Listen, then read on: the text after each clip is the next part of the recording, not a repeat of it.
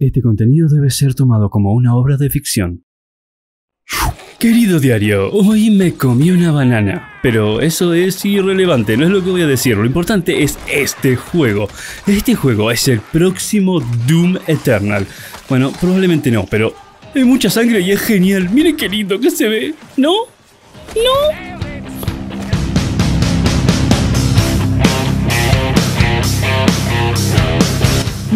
Bienvenidos una vez más, soy Jul y hoy me acompañan mis demonios, Aira y Eli. Y hoy voy a hablarles de algo que me emociona mucho, más que Azuka y Rey Ayanami besándose, sí, así de emocionado estoy. Ya, tenía que ser el maldito hentai. Sí, tal cual, así es, pero miren qué genial. Miren, tenemos hasta Glory Kills y podemos congelar a los enemigos. La dinámica que se presenta en este juego me parece increíble. Díganme si no, no les parece increíble. Pónganme en los comentarios ahora mismo, que siempre digo que lo pongan, pero nunca ponen. Si no les parece increíble, solo lo que vieron hasta ahora. Miren esa escopeta. Ustedes saben lo que me gustan las escopetas. Sí, las escopetas son geniales, traga bananas. Uy, nos despertamos de malas, parece. Miren este ambiente. No es... Capaz me equivoco, pero díganme la verdad. La movilidad que tiene este juego, la gráfica que tiene este juego, el feeling o la impresión del feeling, ¿no es muy superior a lo que venía siendo Shadow Warrior 1 y Shadow Warrior 2?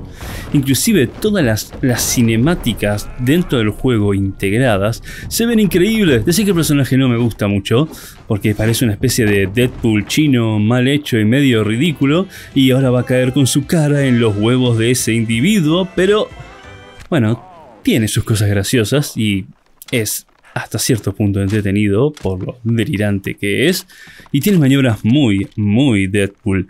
Pero miren ahora, miren la movilidad que además se suma a lo que venía siendo. Caminamos por las paredes, nos colgamos, agarramos a los enemigos, o sea, es, genial, no me digan que no es genial. No me pueden decir que no es genial, se ve increíble. Tengo el único miedo que tengo es que el feeling del juego sea mal. Porque eso me pasó con el primero y el segundo. El feeling del juego era confuso y se sentía como que las armas no tenían impacto y son cosas que no se pueden ver en un tráiler.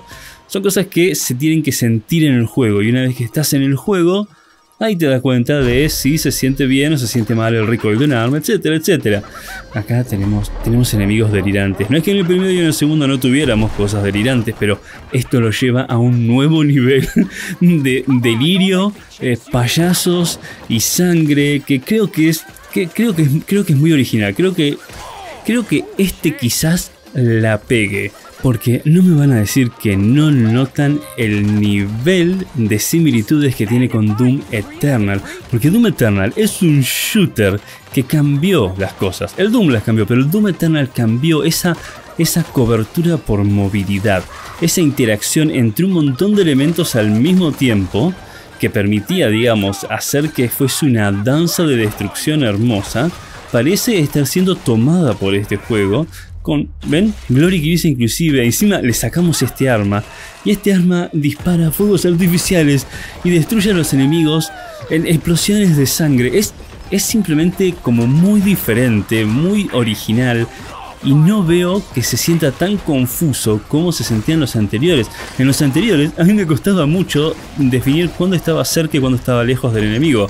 O cuando golpeaba con la katana, que me encantaba usar la katana, sentía como que no estaba ni lo suficientemente cerca ni lo suficientemente lejos o no llegaba a, golpear al enemigo, no me daba cuenta, digamos, porque se sacudía todo demasiado.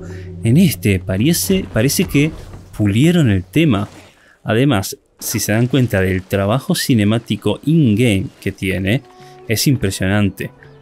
Estas vistas que están incluidas dentro del juego y las cosas que explotan, se mueven y cambian, hacen que la dinámica sea muy entretenida per se.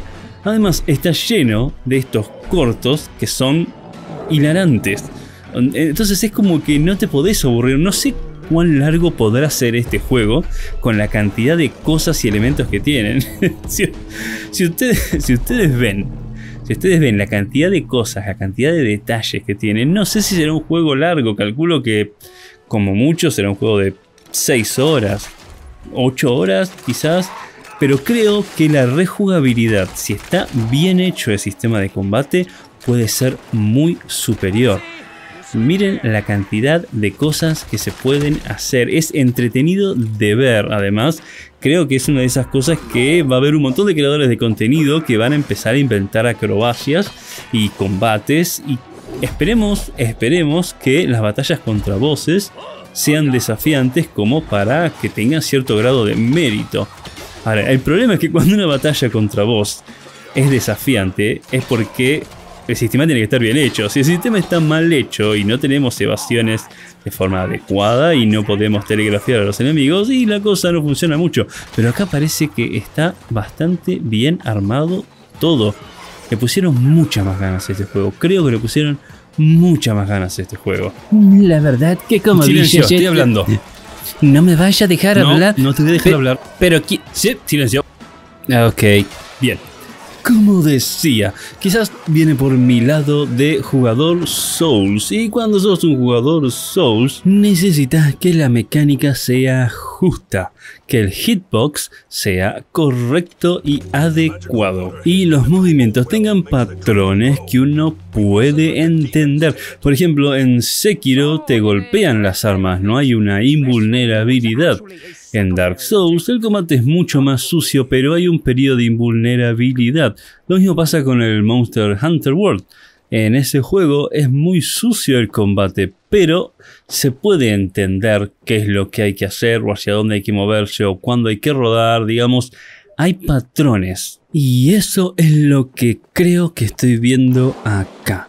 Creo que estoy viendo la claridad de los patrones y entendiendo los sistemas y eso me gusta mucho porque el juego me interesa mucho la variedad de combate con arma. Se acaba de hacer miércoles ese bicho y me encanta. Eh, la, la variedad de las armas y la variedad de las aproximaciones, además del dash, creo que tiene un doble dash igual que el Doom Eternal son claros. Miren, es muy claro el juego y es difícil hacer un juego que se acerque tanto a los enemigos que se vea claro. El Vermintide, el Vermintide 2 sobre todo, es un juego que se ve muy claro y uno de los mejores juegos melee que hay. Y en este caso estoy viendo que se aplica el mismo concepto. No quiero meterme en la parte técnica, pero digamos es como que son dos mundos separados, lo que uno ve enfrente a términos de su arma o sus manos y lo que es el contacto con el mundo. Son como animaciones separadas en la construcción de los juegos. Entonces hacer que una katana golpee de forma precisa, clara y entendible es muy, muy difícil. Y este lo está logrando y lo está logrando muy bien y estoy muy impaciente por probarlo. Me gustaría probar una demo de este juego para ver si realmente es tan genial como parece. Díganme ustedes, muchachos, ¿qué, qué les parece esto que están viendo? ¿Y ahora sí podemos hablar? Sí, ¿Sí? ¿Seguro? por supuesto. Bueno, yo creo que este juego es muy violento. Me alejaría y dispararía con un sniper. por- Mariquita. Bueno, ahora tú me interrumpes, pero realmente creo que tendríamos que jugarlo de lejos. Pues a mí me da un poco de miedito estos no. un cobarde. Que no soy un cobarde, tío. Cobarde. Solamente soy una persona lógica. Soy una persona. bueno, ok, ¿quieres hablar tú? Habla tú. Bien, por supuesto. Hay mucha sangre en este juego. Y eso me gusta. No, pues ya veo, pues qué comentario tan profundo. Me parece que sería muy interesante ver si el sistema del juego es correcto. Y preferentemente ver las opciones de combate a distancia, con algún sniper o quizás un arco. Sí, por supuesto que estaría muy bueno tener esas opciones, pero en sí, ¿te gusta el juego, Eli? No, sí, por supuesto, el juego se ve de rechupete. Aira, ¿qué opinamos? Ocha. Nacha, ¿e- e- ¿ese es tu comentario? Ocha. O- ok, sí, ti- tiene cierto grado de profundidad, pero digamos, ¿qué, qué realmente pensás del juego? Ocha. Ok, bueno, pero eso quiere decir que te gusta. Ocha. Em, bueno, bien, creo, creo que con eso tenemos. Y díganme, ustedes, muchachos, mis queridos espectadores, ¿qué les parece este gameplay?